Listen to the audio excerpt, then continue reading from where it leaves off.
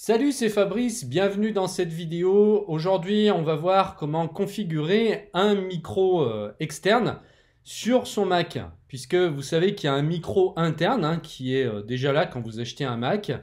Euh, quand vous parlez, ça peut vous enregistrer. Enfin, quand vous êtes sur Skype, quand vous utilisez toutes ces applications de, de, téléphonie, voilà, vous avez un micro qui est déjà intégré dans votre Mac.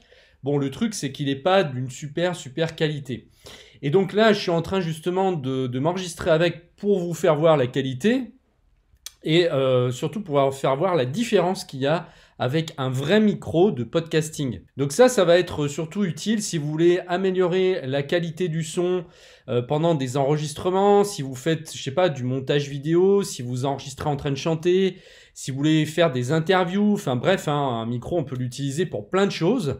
Et donc moi, celui que j'utilise depuis euh, bah, des années, voilà, c'est le Rode NT USB que voici. Voilà, qui est un super micro. Alors c'est avec celui-ci que j'enregistre toutes mes vidéos, tous mes tutoriels. Euh, c'est un micro professionnel, hein. on a une qualité pro avec ça, donc c'est vraiment enregistrement studio, on va dire. Donc il coûte assez cher, euh, je crois qu'il est aux alentours maintenant de 170 euros. Euh, je vous mettrai le lien en dessous de la vidéo si vous voulez aller le voir. Il est sur Amazon au meilleur prix. Donc c'est sûr que là, c'est vraiment le jour et la nuit entre la qualité du micro interne et externe.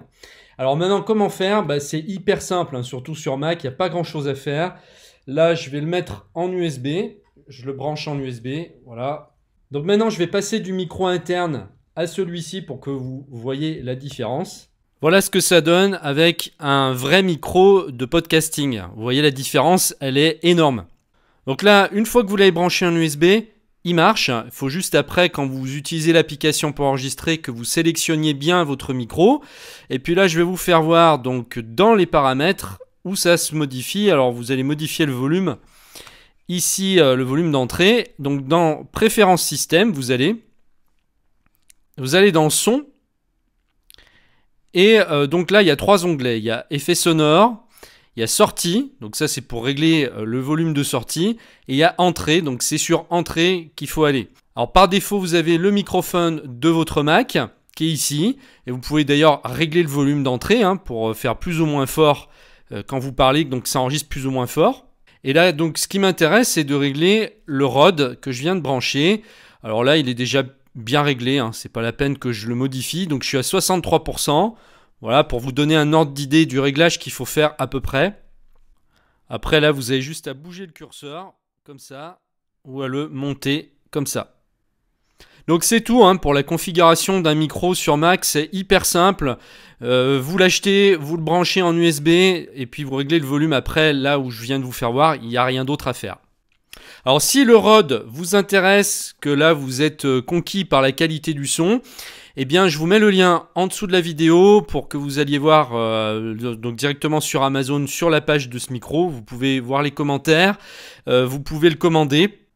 Et si vous avez testé d'autres micros et que vous en êtes satisfait, bah, vous pouvez aussi, pourquoi pas, poster et partager dans les commentaires pour nous dire bah, duquel il s'agit, de quel modèle.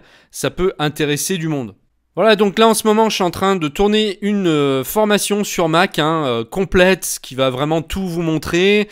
Euh, si ça vous intéresse, il y a un lien en dessous de la vidéo qui vous amène à des vidéos qui sont déjà publiées donc publiquement sur la chaîne. Il va y en avoir d'autres hein, qui vont qui vont apparaître et puis il y aura une formation complète donc normalement qui devrait sortir au mois de janvier. Alors inscrivez-vous aussi donc sur la chaîne, inscrivez-vous aussi sur la newsletter pour être informé quand elle sortira. Pour les utilisateurs de Windows, j'ai aussi fait une formation dernièrement, hein, comme ça il n'y a personne qui est laissé pour compte. Hein. J'ai aussi fait une formation complète sur Windows 10. Si vous n'avez pas de Mac, vous pouvez aussi euh, aller la voir. Je vous mets tous ces liens dans la description. Je vous remercie de m'avoir suivi et je vous dis à très bientôt dans une prochaine vidéo. Au revoir.